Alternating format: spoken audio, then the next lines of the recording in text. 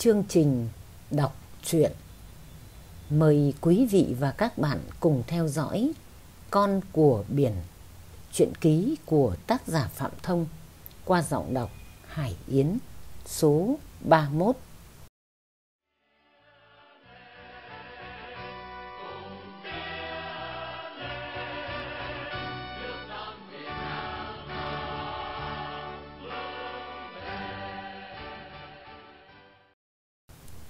Bên bờ bắc sông Trà Khúc là Tịnh Minh, Tịnh Bắc, Tịnh Sơn. Chính nơi đây, hồi tháng 5, tháng 6, bộ đội ta đã chiến đấu quyết liệt, tiêu diệt gọn cả chiến đoàn quân ngụy. Thằng Cát nghe đài Hà Nội, đài giải phóng nói nhiều. Hắn còn nghe kỹ một số chi tiết trận đánh do mấy anh bộ đội kể hồi ở Sơn Cẩm Hà. Khi trung đoàn 1 về đóng quân ở An Tráng, Phước Hà, chuẩn bị thành lập sư đoàn 2. Chiều nay ngang cuộc đất này, hắn biết chuyện, vội vàng hỏi ông Song Thanh. Ba Gia, Đồng Ké, Núi Tròn, Gò Xoan nằm ở hướng nào? Đúng là tại đây đã xảy ra trận đánh lịch sử vang dội của bộ đội quân khu 5. Đang đi trên đường, các chỉ hỏi sơ qua chuyện chiến trận. Hắn để ý rồi tối nay sẽ moi cho bằng được diễn biến của trận đánh qua lời kể của Song Thanh và thầy Minh. Nhưng chắc chi Song Thanh, thầy Minh đã tường bằng thằng Cát với ông Thư. Ngó vậy, chứ Cát, ngoài việc nghe lóm mấy người bộ đội kể ở Sơn Cẩm Hà hôm tháng 10, hắn còn ở cận kề các cơ quan báo cờ giải phóng, thông tấn xã khu 5 3 tháng. Các cơ quan ấy cùng ở một khu rừng với tiểu ban giáo dục. Cát cùng đi cõng gạo với mấy ông bên đó, có lạ chi? Các ổng là phóng viên chiến trường, tin tức, báo chí chính thống do mấy ổng tung ra. Bên báo có ông Phò, ông Hoài Nam, ông Hữu. Bên thông tấn xã có vợ chồng ông Huy, bà Tú. Bên đài minh ngữ có ông Sinh. Thời sự nóng hổi của chiến trường khu 5 Đài Hà Nội cũng phát ra từ miệng, từ bút, từ tay gõ man rip của lính các ổng mà ra. Thằng Cát vốn nhạy cảm, nhớ dai. Khi có điều kiện, nó tò mò ngay. Hắn đã tìm hiểu trận nổi tiếng Ba Gia ở các phóng viên kỳ cựu đó. Hắn biết nhiều đấy. Đi trên đất Sơn Tịnh, dừng chân trên đất Sơn Tịnh, khoát nước trà khúc rửa mặt khi sang sông mà không nhớ, không tưởng về chiến dịch Ba Gia lịch sử thì còn là thằng Cát lắm chuyện nữa đâu.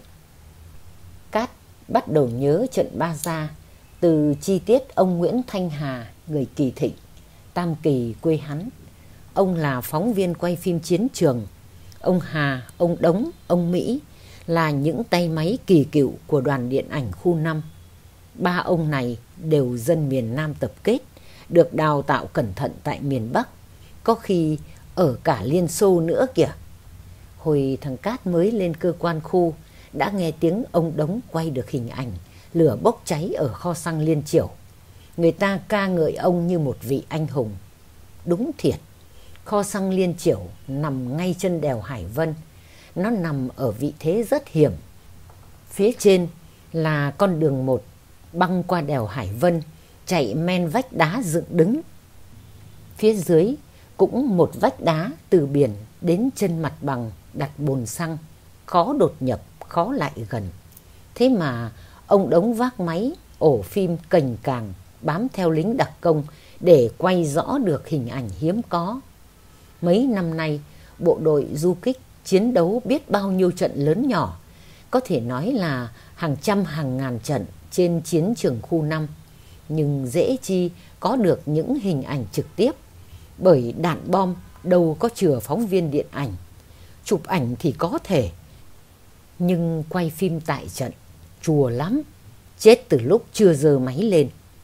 Ông Đống quay được những thước phim ấy trong những năm 1964, 1965 là giá trị vô cùng. Chỉ một việc ấy đủ để ông nổi tiếng. Ông Đống là đoàn trưởng, có thể phân công người khác ra chiến trường, nhưng ông trực tiếp đến nơi nguy hiểm nhất. Như thế càng nổi tiếng. Người ta quý ông không phải vì ông nổi tiếng mà vì ông hành động tự giác, vô tư, không hề biết mình sẽ nổi tiếng. Những người muốn nổi tiếng thì chỉ làm được những động tác giả, nổi tiếng bằng âm mưu. Họ không bao giờ dám đánh đổi sự nổi tiếng bằng cái chết. Ông Hà đồng hương với thằng Cát, chẳng thua kém gì ông Đống về lòng can đảm. Ông Hà cao to, tráng kiện, độ trạc 33 tuổi, tuổi khỏe mạnh nhất của người đàn ông. Ông Hà được phái theo trung đoàn 1 đi chuẩn bị chiến dịch Ba Gia ở Sơn Tịnh, Quảng Ngãi. Chiến dịch Ba Gia nổ ra vào ngày 28 tháng 5 năm 1965, kết thúc vào ngày 20 tháng 7 năm 1965. Chiến dịch chia làm 3 đợt, mở rộng trên cả ba huyện Sơn Tịnh, Bình Sơn, Tư Nghĩa thuộc phía Bắc tỉnh Quảng Ngãi. Các đòn tấn công chủ yếu của quân chủ lực tập trung tại vùng Ba Gia, Đồng Ké, núi Tròn, Gò Xoan, nằm trên địa bàn các xã Tịnh Bắc, Tịnh Sơn, Tịnh Đông, Tịnh Minh, thuộc vùng Tây và vùng Trung, huyện Sơn Tịnh. Ta huy động hai trung đoàn chủ lực trực thuộc quân khu 5, hai tiểu đoàn bộ đội địa phương tỉnh Quảng Ngãi, một đại đội trinh sát đặc công, hai đại đội sơn pháo 75 ly, một đại đội cao xạ 12 ly 7, hai đại đội huyện cùng lực lượng du kích trên toàn địa bàn do tướng Chu Huy Mân làm tổng chỉ huy chiến dịch. Địch huy động trung đoàn 51 thuộc sư 25 bộ binh, hai tiểu đoàn biệt động quân, một tiểu đoàn thủy quân lục chiến, một tiểu đoàn và 15 đại đội bảo an, một chi đoàn thiết giáp, 6 khẩu đội pháo 105 ly do tướng Nguyễn Chánh Thi làm tư lệnh chiến trường. Dưới sự chỉ huy của tướng Chu Huy Mân, một vị tướng tài ba từng trải đã vận dụng nghệ thuật tạo thế khơi ngòi, điều khiển địch theo ý đồ của ta, đưa cách đánh vận động lên quy mô chiến dịch. Kết thúc chiến dịch, ta đã tiêu diệt 4 tiểu đoàn, đánh thiệt hại hai tiểu đoàn, loại khỏi vòng chiến đấu 2.200 tên địch, bắn rơi 18 máy bay, thu 973 khẩu súng, giải phóng 137.000 dân trên cả ba huyện Sơn Tịnh, Bình Sơn, Tư Nghĩa. Đặc biệt, ta đã áp dụng rất thành công chiến thuật bao vây bức chốt dụ địch.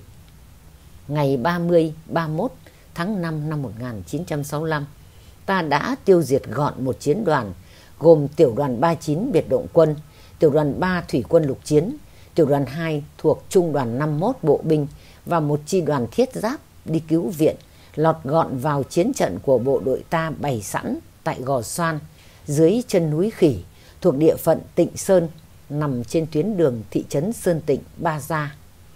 Đấy là một trận tiêu diệt chiến quả cảm và điêu luyện nhất của bộ đội khu 5 thời chống Mỹ. Một trận đánh vận động chiến mang tầm lịch sử, đánh dấu sự lớn mạnh về nhiều mặt của quân giải phóng. Sau trận đánh này, quân chủ lực khu 5 đủ điều kiện lập tức nâng quy mô đơn vị chiến đấu lên cấp sư đoàn. Từ đó, sư đoàn 2 được thành lập và trung đoàn 1 của sư đoàn 2 mang tên trung đoàn Ba Gia. Trận đánh ở Gò Xoan, ông Hà đột ngột biến mất. Ban tuyên huấn khu 5 tìm mọi cách liên hệ với quân khu, trực tiếp là ban chỉ huy trung đoàn 1 và tỉnh đội Quảng Ngãi kiếm tìm tung tích của phóng viên quay phim chiến trường Nguyễn Thanh Hà. Không thể tìm được, ban chỉ huy chiến dịch khẳng định đồng chí Nguyễn Thanh Hà đã hy sinh trong trận chiến vô cùng ác liệt trên bãi chiến trường rộng lớn Gò Xoan. Trong tình thế chiến trận vô cùng gấp gáp phức tạp, khi làm công tác hậu chiến, bộ đội ta đã không tìm và phân biệt được thi thể của đồng chí ấy. Nhận được tin đau buồn đó, Ban tuyên huấn khu 5 đã làm lễ truy điệu tiễn đưa hương hồn của đồng chí vào độ trung tuần tháng 8 năm 1965. Đồng chí, đồng đội và các vị lãnh đạo vô cùng thương tiếc người phóng viên chiến trường dũng cảm Nguyễn Thanh Hà, quê ở Kỳ Thịnh, Tam Kỳ, Quảng Nam, đã vĩnh viễn nằm lại ở đâu đó trên đất Tịnh Sơn, Sơn Tịnh, Quảng Ngãi. Ba tháng sau, đồng chí Nguyễn Thanh Hà đột nhiên xuất hiện. Anh được bộ đội cáng võng từ bệnh xá trung đoàn 1 trả về ban tuyên huấn khu. Anh Hà không chết, anh bị một mảnh đạn văng trúng đầu, ngất xỉu, hôn mê. Trong bom đạn, khói lửa mịt mù, có một chiến sĩ cõng anh lui về phía sau cấp cứu, rồi đưa đi đâu nữa không ai hay biết. Ra chiến trận, anh chỉ bận mỗi chiếc áo lót quần đùi, không một miếng giấy trong người, lại hôn mê sâu. Bác sĩ, y tá bên bộ đội tận tình cứu sống, nhưng không hề biết nhân thân của anh. Và có thể người chiến sĩ cõng anh về tuyến sau đã hy sinh ngay sau khi quay lại chiến trận. Thông tin anh Hà cũng biến mất từ đó. Hơn một tháng mới tỉnh lại, anh vẫn chưa nhớ mình là ai. Sức khỏe dần hồi phục, anh đã nhớ. Tôi là Nguyễn Thanh Hà, phóng viên điện ảnh thuộc Ban tuyên huấn khu 5. Từ cõi chết, Nguyễn Thanh Hà trở về trong vòng tay đồng đội, đồng nghiệp. Về cơ quan tuyên huấn, anh đã xếp vào loại thương binh nặng, liệt một chân, một tay, tổn thương não, không thể ở chiến trường được nữa. Điều đáng tiếc nhất, những thước phim anh đã quay về chiến dịch Ba Gia không còn, mặc dầu đồng đội, đồng chí và lãnh đạo cơ quan rất nỗ lực tìm kiếm. Đã trở thành người tàn phế, nhưng lòng anh vẫn luôn canh cánh về những thước phim anh đổi bằng máu để quay được, nay lại biệt tâm. Anh xót xa khi phải lên đường trở về hậu phương, một cảm giác như tự mình có lỗi, mình chưa hoàn thành nhiệm vụ. Anh buồn. Ông Nguyễn Thanh Hà mới lên đường ra Bắc lúc ban tuyên huấn khu Nam từ Sơn Cẩm Hà chuyển về miền núi cao. Ông phải đi dìu hoặc cáng, liệt chân làm sao tự đi được. Liệt nặng như ông phải đi cáng có nghĩa là phải nằm võng để giao liên khiêng. Đi kiểu đó nửa năm chắc chi ra tới Bắc. Ông Hà lên đường bữa tháng 10 năm nay, như thế mới có 3 tháng. Bây giờ vẫn còn đâu đó trên đường dây. Chao ôi là cực. Nhưng phải đi, chiến trường đã từ chối ông. Điều còn may, Ban tuyên huấn khu 5 chưa gửi báo tử về gia đình ông ở vùng giải phóng Kỳ Thịnh, Tam Kỳ. Chưa có bàn thờ tại quê nhà, ở cơ quan điện ảnh đã lập rồi hương khói tùm lum. Khi ông Hà trở về bằng xương bằng thịt, anh em cơ quan gỡ bỏ. Ông đống thắp hương kính cáo đất trời, không lạy ông Hà nữa. Nhìn ông đống lạy, ông Hà cười mà rưng rưng nước mắt. Đúng là cuộc chiến thiên địa minh tinh vô lường, chuyện chi cũng có thể. Dẫu sao vẫn thấy điều kỳ diệu, phóng viên chiến trường Nguyễn Thanh Hà còn tiếp tục tồn tại trên cõi trần gian này. Con đò ra đến giữa sông, Cát nhìn về hai bên bờ có nhiều bánh xe dựng cao, bánh quay tròn theo chiều thẳng đứng. Hắn hỏi bằng giọng Quảng Ngãi. Cái chi lạ vậy anh Thanh? Xẻ nước đấy. Mía nhiều tưới như thế mới phỉ, chứ tưới tay sao nổi.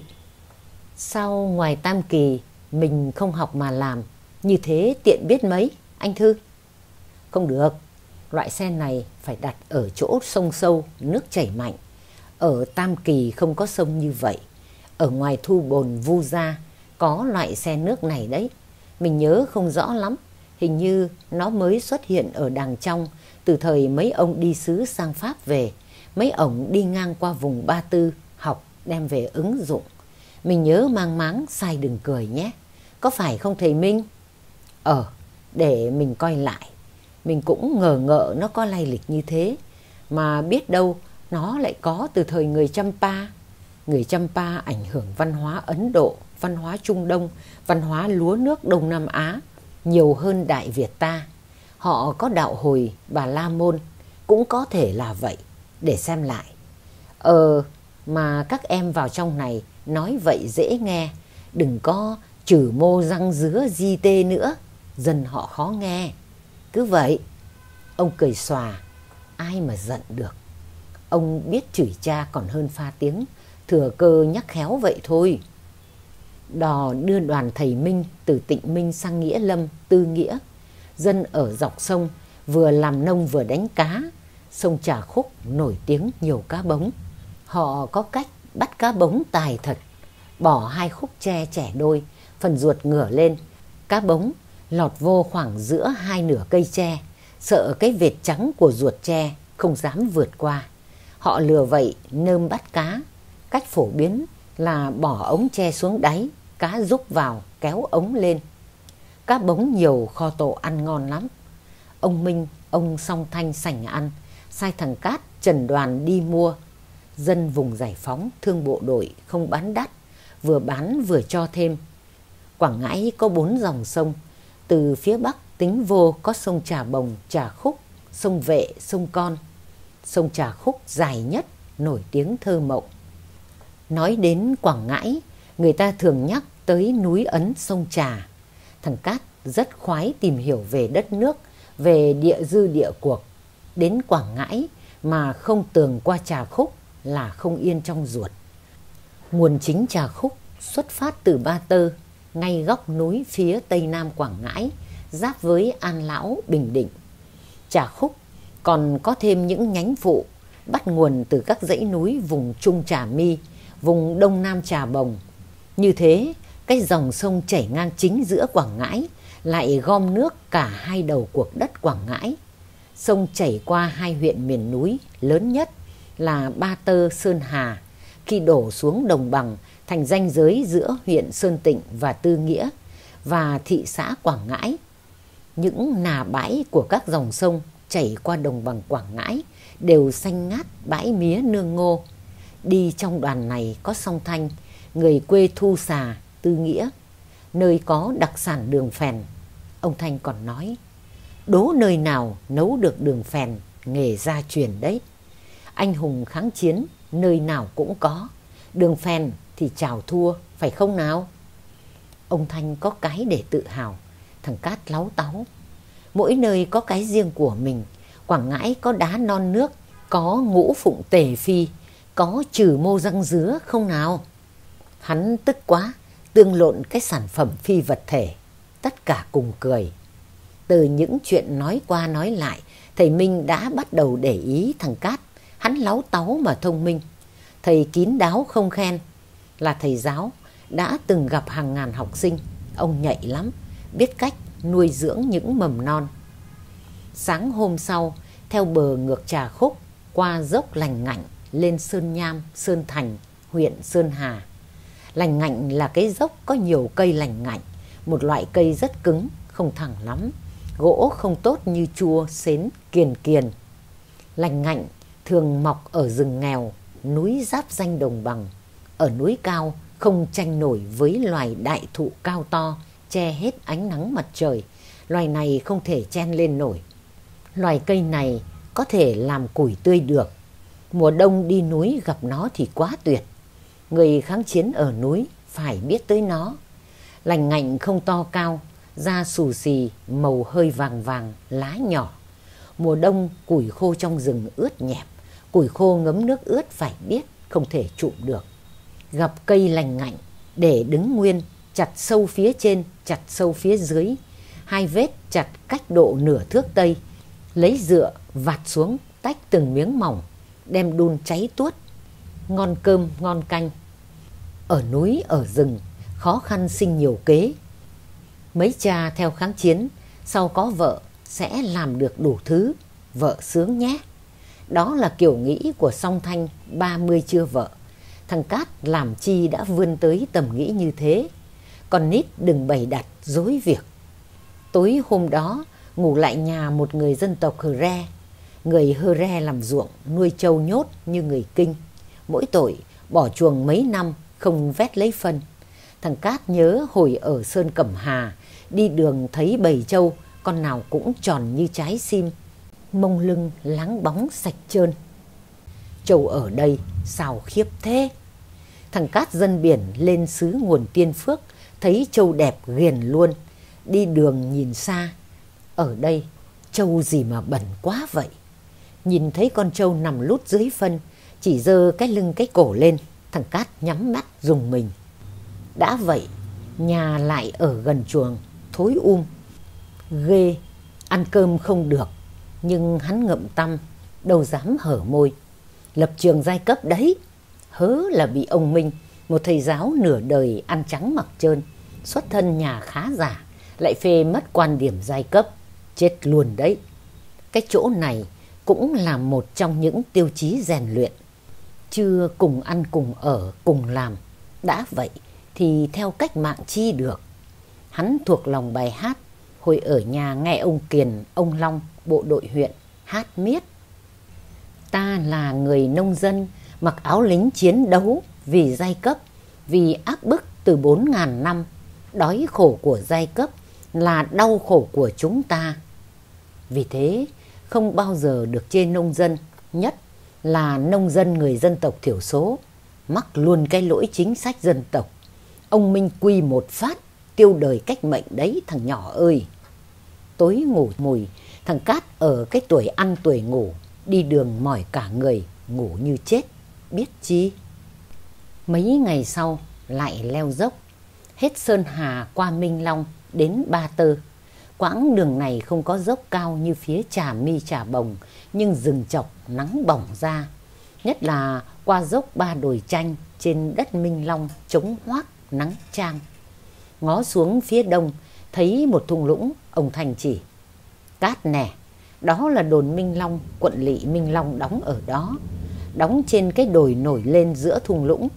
Đồn đó do người thượng, nghe nói có cả đại đội người nùng ở Bắc theo chân Pháp vào Nam, chấn giữ. Bọn lính này lì lắm, chống cộng triệt để, chồng xác lên đánh lại quân giải phóng. Cuối năm 1964, ta đã tiêu diệt được tụi này san phẳng đồn, mình cũng chết dữ lắm. Giờ bọn chúng tái chiếm rồi, một cao điểm lợi hại. Chúng chiếm để ngăn chặn ta từ Trường Sơn đánh thốc vào phía tây nam thị xã Quảng Nghĩa. Ở dọc biển nhiều chỗ chúng bỏ, nhưng những chốt điểm nằm sâu trong Trường Sơn như thế, chúng lại tử thủ. Chết bao nhiêu quân, chúng cũng tái chiếm cho bằng được. Ừ, thì cứ chiếm, cứ đóng, nhất định có ngày chúng phải chạy re khỏi miền Nam luôn. Ông Thanh đứng trên đồi cao xa lắc, xỉa tay về phía thung lũng Minh Long, nói như chửi lộn với tụi lính quốc gia. Trong lúc ông Thanh say sưa chỉ chỉ trò trò phía thung lũng, ông Thư chạy lại xù ra một mớ cam trái. Thằng Cát mừng bằng giọng Quảng Nam. Ui chu choa, cồm mồ mà ngon ri anh Thư. Ông Thanh trợn tròn mắt. Mày nói tiếng Pháp hả? Tao chả nghe được gì. Vào Đức Phổ nói vậy, họ tưởng chửi vác cây đập đó mày. Ông Thư nhún vai chỉ chỉ ông Minh. Im, im, ông thấy phi bình rát ra. Tao hái trộm của đồng bào, giấu đi ăn chừng chừng, ông biết là chết. Ông thấy còn đỡ, đồng bào thấy bắt đền bằng heo, bằng vải, một đền mười, tục lệ nghiêm lắm. Nghe nói họ còn thư trả thù chết luôn, thèm quá làm liều, sợ lắm. Ba người chẳng dám bóc ăn, mặc dầu thèm chảy nước miếng, nhất là thằng Cát. Chưa thử được trái cam mô từ hồi mẹ đẻ đến trừ. Ở quê, người đau ngắc ngoài dậy mới được uống nước cam vắt. Họ bảo cam Huế của hiếm. Nông dân đầu tắt mặt tối, cả đời không biết đến vị ngọt của cam đâu. Dân biển như hắn chỉ biết trái quýt của mấy bà buôn mẹt, mỗi chiều bưng ngủng, có kẹo ú, bánh in, bòng quân, chuối, quýt, ra ngồi ở bãi biển đổi cá. Họ gấp gáp bỏ hết cam hái trộm vào ba lô, nhỏm đít đi nhanh. Đói ăn trộm là chuyện thường, trộm ít ít thôi để cho người khác với chứ. Đồng bào thù là khó, biết bộ đội thèm nên làm lơ. Họ cắm trông gài thò thì tiêu mạng, họ mưu trí đừng có qua mặt. Win Win Việt Nam trân trọng cảm ơn quý vị và các bạn đã quan tâm theo dõi. Xin kính chào tạm biệt và hẹn gặp lại.